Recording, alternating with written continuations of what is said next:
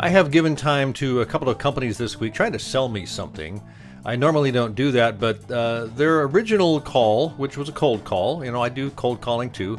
So I usually at least listen a little bit to find out what they are going to pitch me, and, and it's at, at least intriguing enough to give them, you know, what, 15 minutes or so to show me to do a screen share and all that stuff that a lot of people do. I was at least curious enough to learn what they were pitching.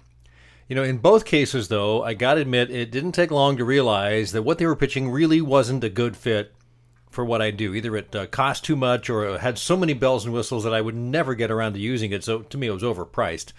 Um, but but in both cases, interestingly enough, and this has happened with most of these types of pitches, it was all about them, what they did. Little to nothing about me or my situation. They didn't seem to care or ask questions. I mean, they didn't ask about my company. Uh, from their standpoint, it was, hey, look at what this does. I want to show you this. I want to show you this. You can do this. You can do this. You can do this. All the great things that we offer. Me, me, me, me, me, me, me, me, me.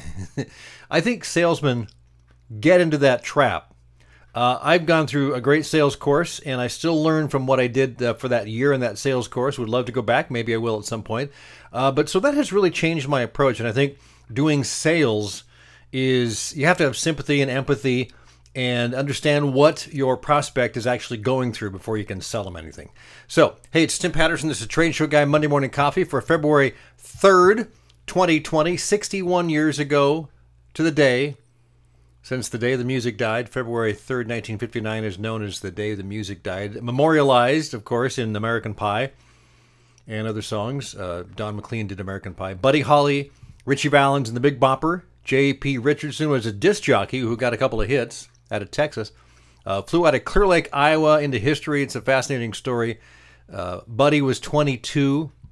Ritchie Valens was 17. Man. And the Big Bopper was 28. All right. Back to the show. Be sure to check out the various websites in the Trade Show Guy world, including start with tradeshowguy.net. Uh, TradeshowGuyBlog.com is where I've been blogging for 11 plus years. TradeshowGuyExhibits.com is our main company site. TradeshowExhibitBuyersKit.com is for people that have never bought an exhibit are trying to get their hand on things and figure out what to do next. A lot of information there. Uh, also, information webinars at tradeshowguywebinars.com. I don't really do webinars anymore, but there's a pretty good archive there of a couple of years. And my two books, tradeshowsuccessbook.com and tradeshowsuperheroes.com. Lots of good stuff there. All right, hey, got a fun interview this week. It's kind of a look behind the scenes at trade shows. Got to connect with Jim Wurm, who's the executive director of Exhibitor Appointed Contractor Association. Okay, that's a mouthful, right? Uh, we talked about all the stuff that goes on behind the scenes. And if you've never had a chance to walk the floor as, you know, a thousand or two thousand or three thousand booths are being set up over the course of three or four days, it's insane. It's crazy. There's so many moving parts. There's a lot of risk there. We talked about risk and and covering risk and things like that. I think you'll learn a few things about what goes on behind the scenes with this particular conversation. I want to welcome Jim Wurm, uh, Executive Director at the Exhibitor Approved Contractor Association, to Trade Show Guy Monday Morning Coffee. Jim, it's a pleasure to have you on this morning. I appreciate it. Thanks very much, Tim. Glad to be with you. And you're on from uh, Bend, Oregon. Is that correct? Yes, I am. Uh, Bend is, of course, uh, dear to me because I grew up over in that area. Went to school for several years at Bend High. Graduated from there, so I, I kind of consider Bend my, you know, my my home away from home, as it were. Yeah. Although it's changed a lot since I, I got out of there. But you uh, you like it over in Bend? You've been there a long time. I, I love it here. Uh, yeah, I've been here 25 years. oh wow, you've seen the changes a while ago. Uh, I was sort of inspired by another friend of mine that worked in the uh, trade show industry, who was a, basically a, a for hire general service contractor account executive. And he basically uh, had several accounts and he would use different suppliers as, as subcontractors to, to handle the shows that he had under contract. And he lived in Breckenridge. And I was like, how do you do this industry and live in Breckenridge? He goes, I got to fly to the event wherever I'm going. Might as well live someplace I want to be. And I went, exactly. Genius. He's a genius. I'm going to try to do the same thing, and that's how I ended up in Bend. I ended up in Bend. Oh, right. Yeah. Well, let's. Uh, uh, you know, I'm sure there's a lot of exhibitors that really don't know about the uh, association, and so let's figure out first of all what is the Exhibitor Approved Contractor Association. Maybe a wee bit of history and where it came from and, and what they do. Sure, and actually, it's the Exhibitor Appointed. Appointed. Okay, gotcha. Yeah, and that name uh, was an evolution. When I first started in the industry years ago in the uh, early 80s, companies that provided services like that were, were called independent contractors, but that evidently created some heartburn for those who were in the show organizer side of the business and or the venue side they didn't want people that were independent they wanted to designate them as these are companies that were hired by their exhibitors to provide a variety of, of various different services on the show floor. So we formed the association in 1998 and we represent and support the interest of those, as we call them, EACs, right. and all the other organizations that provide exhibit services on the show floor as selected by the uh, exhibitor as compared to the contractor that's selected by the show, which is known as the general service contractor. So, but our mission as an organization is to find ways to create tangible value for our members. And we do that in several ways. Uh, one of the first ways is to advocate to the industry at large for measures to improve the security and the safety of show floor operations. Uh, got a lot of moving parts on the show floor. We want to make sure that folks that come there to do their job go home safely every night. Uh, one of the other things that we do is we like to raise the profile of our, our member companies to prospective clients, and that uh, being a member of the EACA does confer a sort of a good housekeeping seal of approval to the exhibitor uh, population because all of our members uh, uh sign off on and acknowledge a, a, a, sort of a code of conduct that we've developed as and a code of professionalism that we've developed so that we know that our members follow the show rules, follow the venue rules, and have safety programs in place to make sure that they do the best job possible for their clients. So give me an example of what kind. I'm curious. What kind of uh, companies? Obviously, there's installation, dismantle. There's electricians. What other kind of would fall under that umbrella? I guess. Sure. We actually have. Uh, I was just looking this morning in advance of our conversation. We actually have a total of 38 different categories wow. of, of exhibitor appointed contractors. But the 10 major categories would be uh, companies that provide AV services, companies that do carpeting or flooring, uh, companies that provide computer rental and rental services, uh, a variety of companies that, that produce and provide exhibits, uh, floral companies, furniture rental, installation and dismantle, labor companies, uh, models and personnel, and talent, uh, security companies, and transportation are the, are the major categories of, of our membership. That's uh, a lot. it is. what we other other things that we do, Tim, is we like to use the collective buying power of all of our members to obtain advantaged pricing for them on significant cost centers like supplies and equipment, payroll services that they may need, or health insurance, uh, workers' comp insurance, liability insurance. We hmm. find ways to negotiate better rates for them than they could get by themselves. So, are the companies members? Are the individual employees members of the EACA? How's that work? I'm just curious. Yeah, all of our memberships are corporate memberships. Okay. So that uh, when the company is a, is a member, that confers member privileges to every one of their employees. Albeit, we do uh, acknowledge that uh, there's a, quite a range of company sizes. Right. Uh, from the mom and pop type companies to our largest member is Freeman, you know, because although most recognize a company like Freeman as a general service contractor, when they're providing services at a show where they're not the general, say they're at a show that uh, GES is the general, they're actually an EAC in that regard. So uh, literally everybody in, in the industry that works on the show floor is an EAC at some time. Um, so when an exhibitor goes to a, a, show, you said you just got to Fancy Foods, albeit uh, Natural Products Expo West here in a few weeks. Right. Do they know they're interfacing with EACA uh, uh, uh, contractors, or does that something that's kind of behind the scene that, that, that often exhibitors don't even know that they're getting involved with those types of people? Well, most of our members will obviously would publicize the fact that they're a member of the association. Like I said, that tends to confer them some uh, a little bit of a higher level of status in the industry. Um, exhibitors know that if they're hiring an EACA uh, association member, that they're they're getting a, the cream of the crop. And uh, as it relates to, do they know whether or not uh, they're members? One of the things that we did, and one of the inspirations for starting the association was.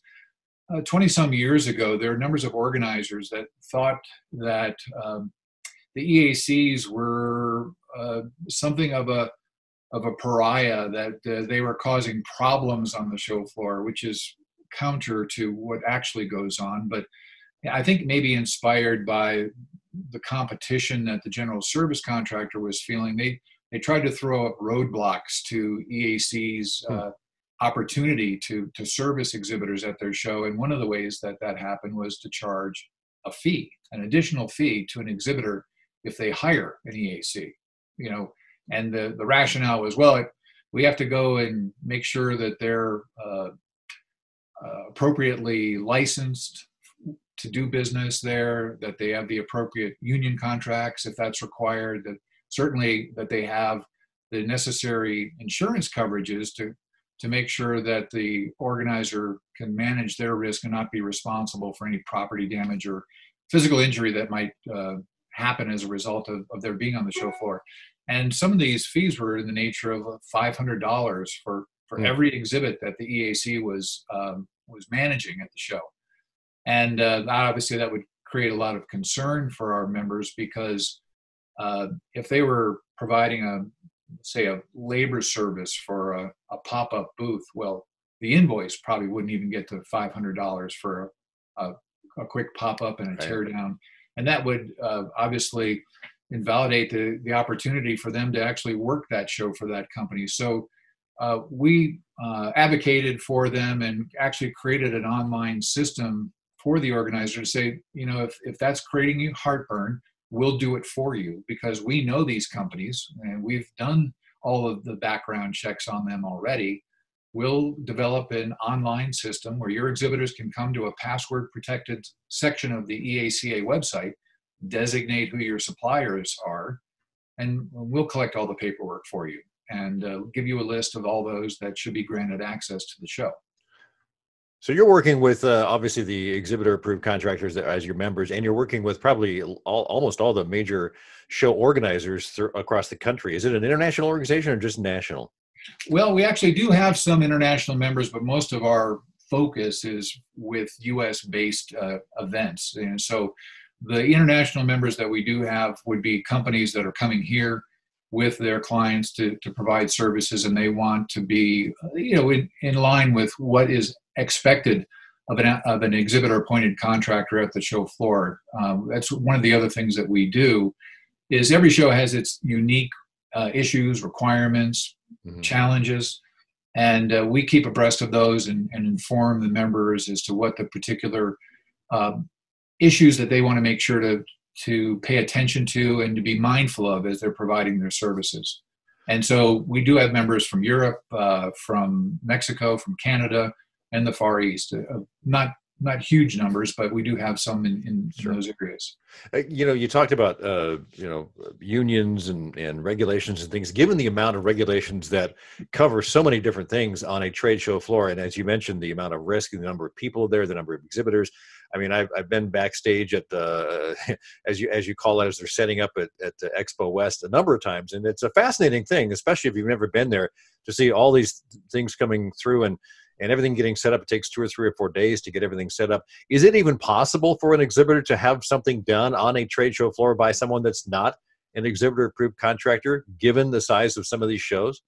Well every show will have a, uh, a set of requirements for the um, contractors that an exhibitor will hire whether they're an eaca member or not. Um, they will still have to follow um, those particular requirements to gain access to the show.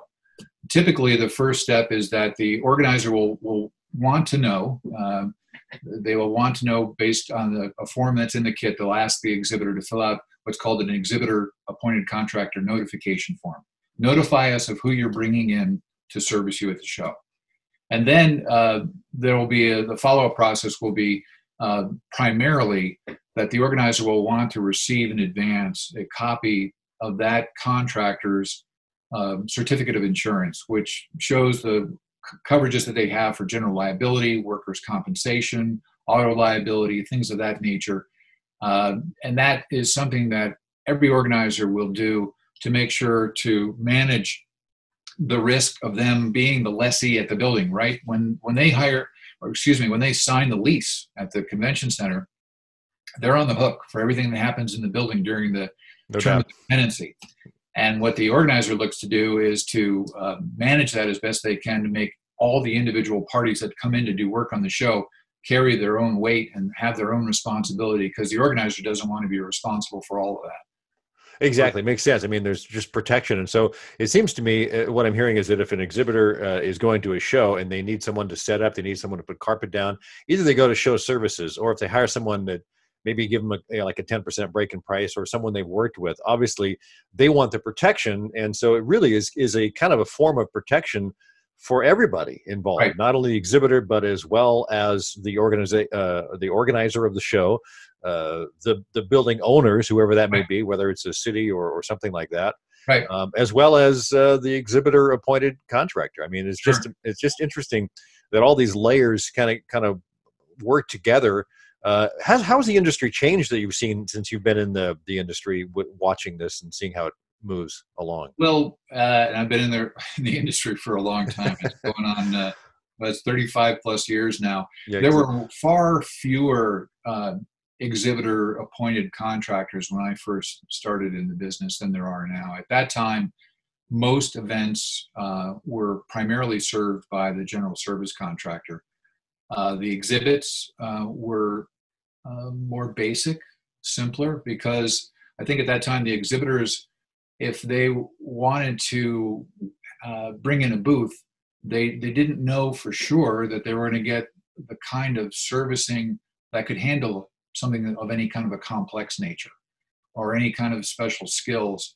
Um, that's one of the advantages that exhibitors have when they use an EAC. It gives them more flexibility in how they want to display. And the reason for that is that the the the EACs, particularly those that provide the labor services, they'll do a lot of advance work in prep for, for the show. They'll they'll have all of the um, all the renderings and the booth drawings and all of the different requirements that that display has.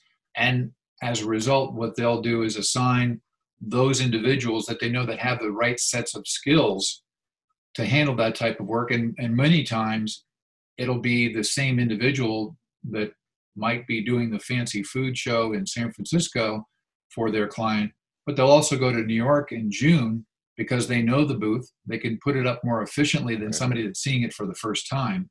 And that's that's why an exhibitor would hire an EAC is because that level of familiarity creates comfort versus just going to the service desk, getting the next two guys on the list who may never have seen this Right. before, and and will be doing sort of a, a you know on the job training as to how does this thing go together.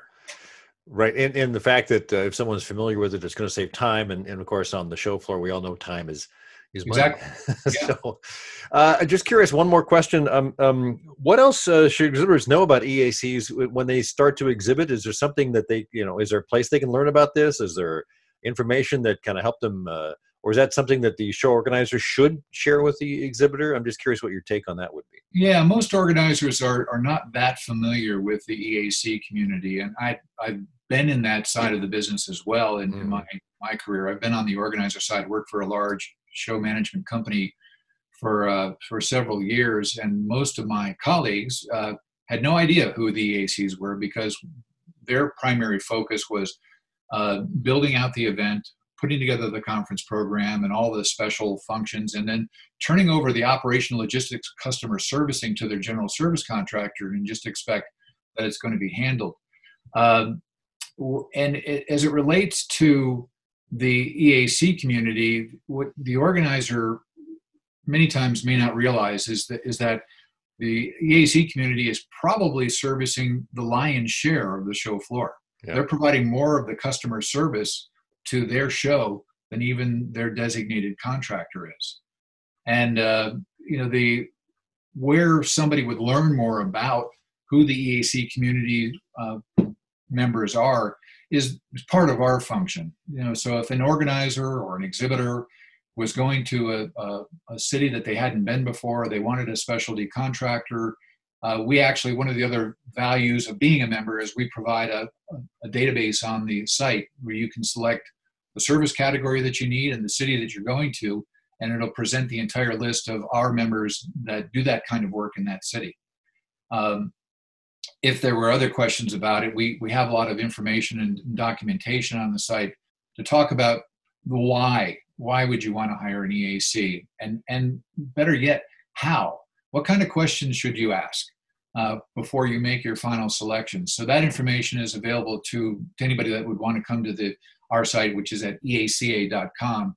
Um, but failing that, if that if they didn't find the information they were looking for, we're always open to getting direct contact. When I get calls fairly frequently from people and say, "Hey, I'm, I'm trying to solve this problem. Can you point me in the right direction?" And because I know most of these folks personally, I don't ever just recommend one company to solve their problem, but I'll probably give them the top three or four that, that should be in their consideration set and let them make the decision.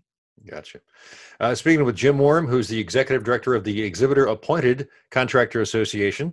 Uh, and appreciate your time, Jim. It's been a pleasure kind of learning about what you guys do. It's one of those kind of behind the scenes thing that a lot of exhibitors just don't think about. And it's kind of been fun to learn exactly what goes on with you guys. Thank you very much.